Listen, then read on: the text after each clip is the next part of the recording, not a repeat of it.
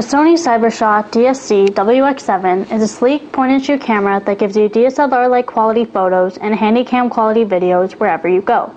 Advanced face detection and subject tracking ensures the subject is always in focus. With USB charging, it's easy to recharge your battery when you're on the go. It features a Carl Zeiss lens, Bionz image processor, and a 16.2 megapixel Exmor-R CMOS sensor. The Carl Zeiss lens is a 25mm wide-angle lens with 5 times optical zoom, featuring the AVC HD full high-definition video recording at 60 frames per second. Intelligent Superior Auto Mode lets the camera do the work for you and takes the guesswork out of camera settings. With scene recognition, motion detection, and backlight portrait correction, you will always get a great looking shot.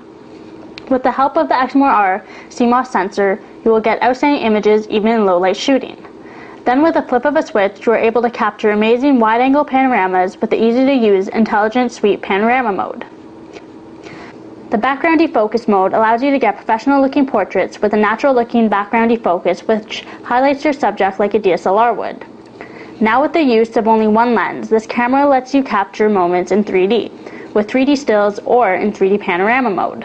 The camera also features an HDMI output for full HD viewing directly onto your HD TV, and even allows you to experience your favorite moments in 3D on any compatible 3D HD TV. The WX7 has a 3-inch extra fine LCD screen to play back your videos in full HD.